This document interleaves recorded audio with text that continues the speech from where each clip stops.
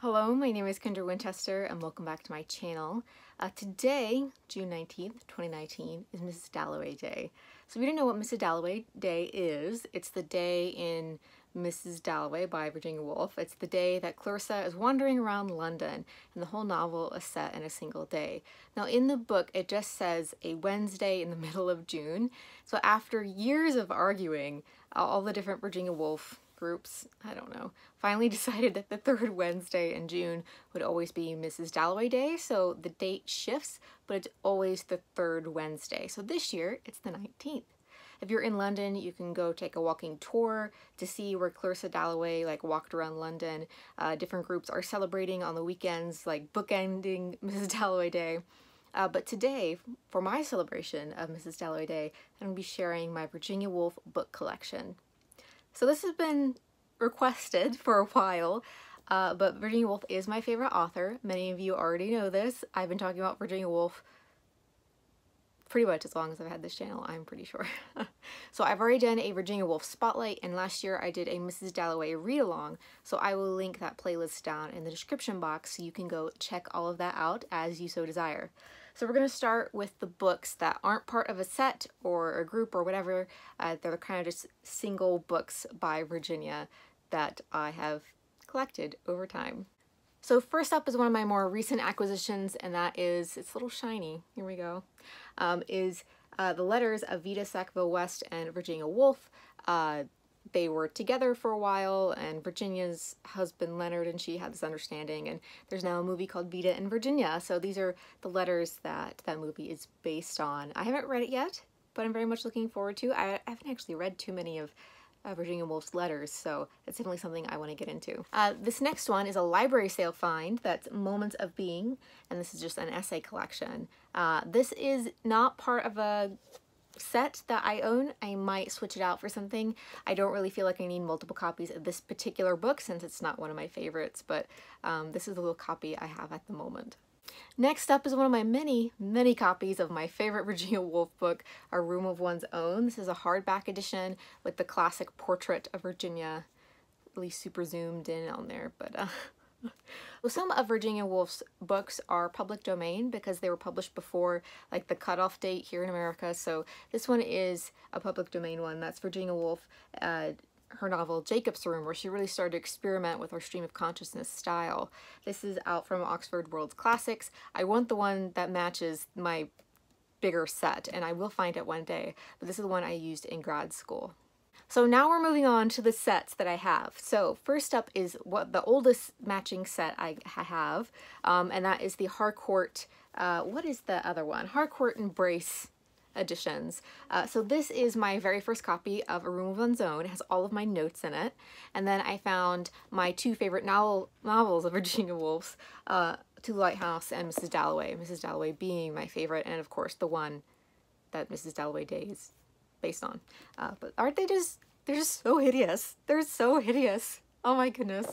I'm so glad they fixed that. Okay, so next is my favorite set of Virginia Woolf books that I ordered from the UK um, and it was given to me by my in-laws. Um, and that is this vintage set that was came out a few years ago. Uh, so I'll go through them for you. Oh, they're really heavy actually. um, all right, so first up is, is Orlando and you can see like on the inside they have this pattern, French flaps, gorgeous books, just uh, gorgeous. So this is our Orlando. You have To the Lighthouse. You can see the themes going on. Gorgeous French flaps. And then the back. Ah, these just beautiful. Mrs. Dalloway. Love it. I mean, it just, they got the theme right. It's just, they're just so gorgeous. Our Room of One's Own. I think Three Guineas is also in here, actually.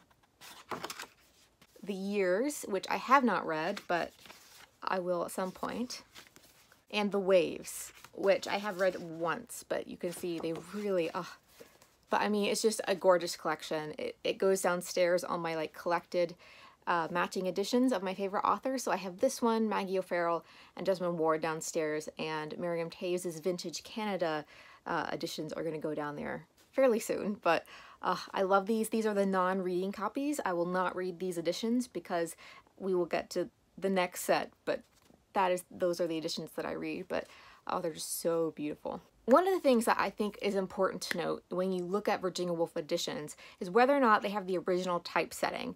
So, for example, this is A Room of One's Own. This has the original typesetting and you can see so if you have the original typesetting the same words will be on the same page and it's the original one so that it, it appeared as it did in the original edition this version of our room one's own is obviously a different size and so it's a new typesetting with new fonts new sizes new spacing everything and for me i prefer to read the original typesetting just because it's the original um, but these are very beautiful and most people do not care about original typesettings but i'm I'm Kendra, so that's the, that's the only explanation I have. I don't know, I'm a publishing nerd. Okay, so the next set, hold on. Let me see if I can show you this set all at once. So this is the set Virginia Woolf I'm about to show you. Um, I'm gonna set these down before my wrists break off.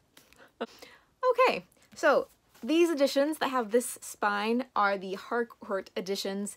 Um, recently, they've reissued some of the main uh, works of Virginia Woolf's, but this is the in the U.S. the most extensive collection of Virginia Woolf uh, works that I'm aware of, and you will find out why here pretty quickly. I don't own all of them, but whenever I go to used bookstores, I look for them. So oftentimes I'll take books to the used bookstore, get credit, and find more Virginia Woolf books, as in the case. This one um, is from McKay's, and this is A Room of One's Own. And uh, I think this is the one you'll get if you order it from Amazon now. I'm not sure if uh, this cover was reissued or not with all of the other ones, but um, yeah, this is the Harcourt edition. So this is Three Guineas, which is more nonfiction um, discussion about uh, class and, and being a woman. It kind of follows on the coattails of Room of One's Own. I don't think it's as good as A Room of One's Own, but uh, that's why they're, I guess, typically bound up together as you saw in the vintage edition. This is uh, Virginia Woolf's A Common Reader. There's also a second Common Reader. These are just essays that she's written that were bound up together and then printed. Uh, this is Women and Writing, my most recent acquisition. I got this at the Strand. This is just more essays on women and on writing. I mean, like it says on the tin. So this is Between the Acts. I haven't read this. This is her last novel. It's, it hasn't been very well received, but uh, she died shortly before or shortly after this was published. So I, I don't think it was as finished as she probably would have liked it to have been, but um, this is the last one that she wrote. Uh, before Between the Acts was The Years. I haven't read this one. Um, also wasn't her best novel. Uh, the critics really weren't a big fan of this, but I still would like to read it because she wrote it and I'd be interested to see like where she went after the waves uh, which was which was this one. Um, I read a, something in her biography that Quentin Bell wrote that she was really upset about this book and that it was just so painful for her to write and she didn't want to publish it but she just needed to get it out of her system and that Leonard didn't really want to tell her that it really wasn't that good because mentally she wasn't in a great place so I'm kind of interested to see like what kind of book that that was. Uh, the next two books are my two favorites of hers, like I've mentioned. So this is To the Lighthouse. It has all my notes from grad school in it because I wrote on this one. And then this is Mrs. Dalloway. This is the one I used for my Mrs. Dalloway read-along. It has all of my notes. And then every time I reread it, I take notes in a different pen color. So I would probably drive someone a little wild if they tried to read this, but um, I think that these particular books, like these specific ones, are just so important to me because I do love annotating and I love seeing what like past Kendra wrote the last time she read this book, so they are very special to me. So here's The Waves. I read this book in grad school, but I listened to it on audio and I didn't write about it, so I just read it once and I knew the basic gist of it. I want to reread it uh, because this is her most, I think, experimental novel, and it really shows like how far she really wanted to take her style and it's a very important novel of hers. This one, Into the Lighthouse, there's argument about which one is her best novel. I think it just depends on what your style or prose style preference is. I think they both are very just they're both brilliant so I, I think there's an argument either way but um, yeah this one is also you know Eric at Eric Lonesome Reader this is his favorite so I do feel like I need to reread this just so we can talk about it again at some point because I haven't read this book in like five years so it is time all right so this is Orlando and this was uh, partially based on Vita Sackville West. That was really, I guess, the inspiration for this book. And I read this book and it was just so fascinating. And the story goes that this person, Orlando, he's living his life, and then one, he he's immortal, basically. He will never ages or dies or whatever. So he's living his life through the centuries. Then one day he wakes up and Orlando, she's a woman. And then she lives about her life. And it just points out like you can be the same person, but you'd be truly different if you were a man versus if you were a woman. And what she does with gender is really interesting with this. Also, there's like Virginia's ideal marital relationship in this book. It's so intriguing. If you haven't read Orlando, go check it out. It's fabulous. And Virginia Woolf is really funny. I don't think we typically think of Virginia Woolf as funny, but this one is, it's hilarious. It's just so good.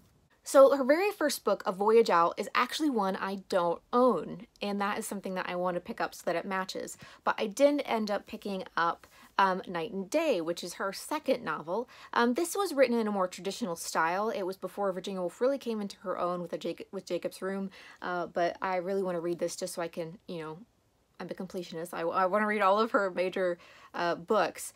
Um, but yeah, I've I've had a friend who read this and she enjoyed it, but it was definitely not as good as her other books. Uh, but it does match the rest of them, so that's pretty cool. This one also still has a sticker on it for whatever reason. Um, this is A Haunted House. This is a short story collection. She did write some short stories, but I think her short stories are just interesting to see where her mind goes. And yeah, it's so interesting.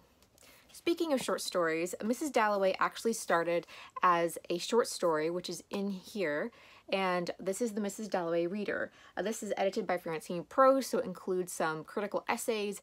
Uh, so you can read Mrs. Dalloway's Party and then read Mrs. Dalloway, and you can see the thought process. She does actually change some details from the short story original idea to the novel. So I did find that very interesting to track, especially since Mrs. Dalloway is my favorite novel of Virginia Woolf's. I don't think it's her best novel, but for me personally, my affection for it is is the greatest. I loved reading this. And Francine Prose is brilliant. If you haven't read Francine Prose, you definitely should check it out. Okay, so those are all of my Virginia Woolf books. I didn't include Virginia Woolf inspired books or Virginia Woolf like retellings or any like, there's this memoir that I just finished about this woman ruminating on To the Lighthouse during her own time of grief and all this stuff. I didn't include any of those. These are just the books by Virginia Woolf. So, uh, I love them. She has such a glorious place in my heart. And so I hope that you enjoyed seeing these. Do you own some Virginia Woolf books? Did you own any of these editions? Do you own an edition that I did not mention? I definitely want to know that so I can go find it. Uh, but yeah, tell me all of the things. Happy Mrs. Dalloway Day, and I'll see you in the next one. Bye, guys.